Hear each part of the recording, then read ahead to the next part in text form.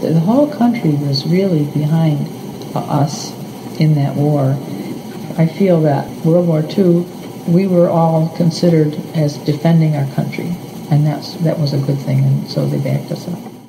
The people who were dragged into the Vietnam War, that is completely on the opposite end of the end of the pendulum swing from where we were, because we were at a point where, boy, it was a thing to do, and we wanted to. Why, Lord, you wanted to? Why? Because how do you wait?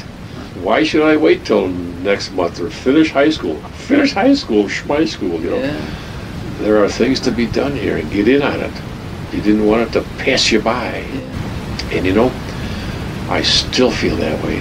That that absolutely, without a doubt, was the most spectacular thing that ever happened. Absolutely, just bar none.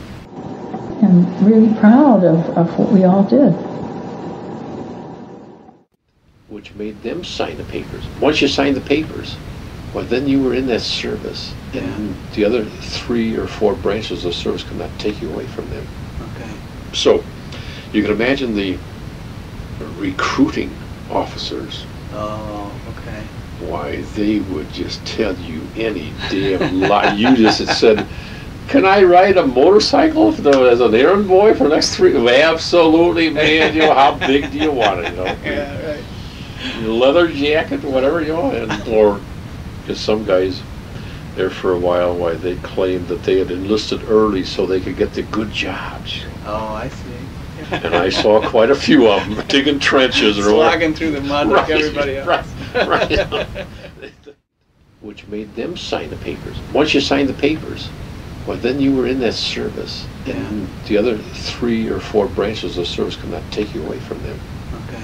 So you can imagine the recruiting officers, Oh, okay.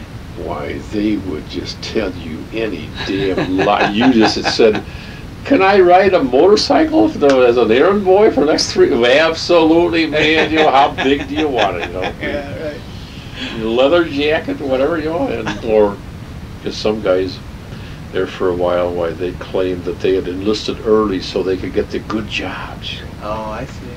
and I saw quite a few of them digging trenches or. Slogging through the mud like everybody else. right, right.